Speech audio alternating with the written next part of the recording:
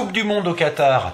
Plusieurs villes disent non aux écrans géants pour retransmettre les matchs. Ah, Du coup, ma femme, elle est super contente, hein, vraiment. Ah bon? Je, je vois pas le rapport avec ta femme. là. Elle va être super contente. Pourquoi? Bah nous non plus, on va pas le faire chez moi. Attends, 1500 personnes dans mon salon à chaque match. euh, non, ça lui donnait un boulot euh, à ma bobonne, la pauvre. Oh, oh. Puis ça coûte un max en budget de cacahuètes et chips. Hein. Ah, À la sienne, hein. à la sienne alors?